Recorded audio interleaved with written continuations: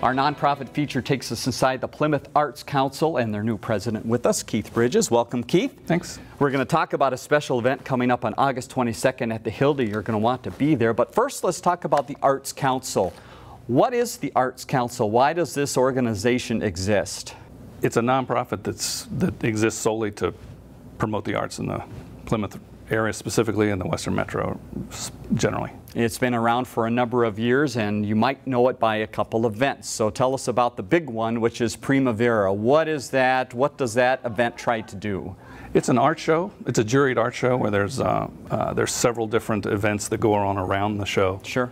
Uh, but the, the idea is to just get people in to see these, you know, award-winning pieces of art that we, we can right. collect. So that's been spring. one of the main focus areas in the past, but let's talk about the future now. So I know there's a little bit of change of direction and some thinking to maybe Yeah. expand this a little bit. Tell us about some of the areas you're looking to go into. Well, we're very excited about the idea of becoming sort of a hub of communication about arts in the region. Um, we're going to use, uh, you know, social media and other more traditional media means to just get the word out about all of the different arts that are going on in the region. And I understand some sponsorship opportunities might be available, and again, more yep. highlight opportunities for local artists. Sponsorships of local artists, local events, uh, things that we can, you know, give small grants to them to do that that'll be available.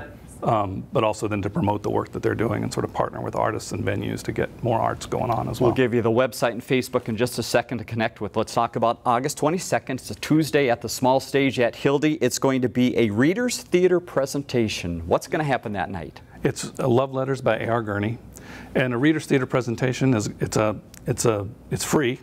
Very good. So That's a good start. So please, you know, people are going to enjoy that. Uh, it's a very intimate uh, sort of presentation. It's not about the sets and the costumes and the lighting and, and whatnot. It's a it's just a free event to come and enjoy.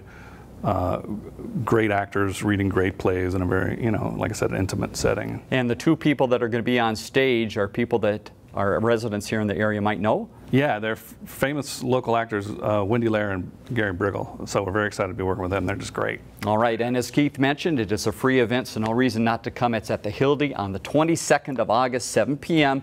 Bring your lawn chair or blanket out and you'll be set to go. Keith, thank you very much for Thank the you. information. Best of luck with the council. Thanks. If you want more information, visit them on the internet or on Facebook, Plymouth Arts Council.